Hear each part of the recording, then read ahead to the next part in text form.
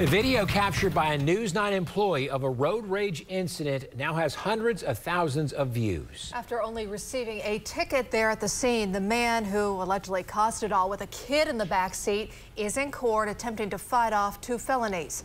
News 9 Storm Jones has been following this violent crash since it happened over the summer.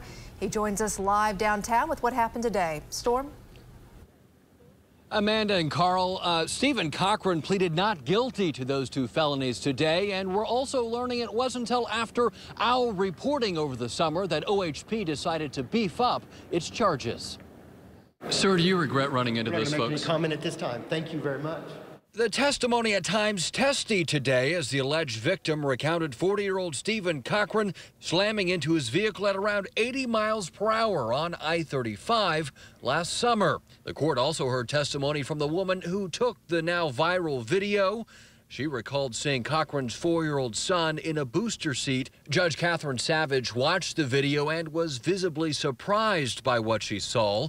According to court documents, Coughran told the trooper at the scene the road rage was fueled by testosterone.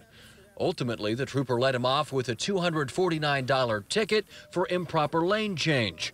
We now know that Trooper Chandler Lipe was disciplined for not properly investigating the crash.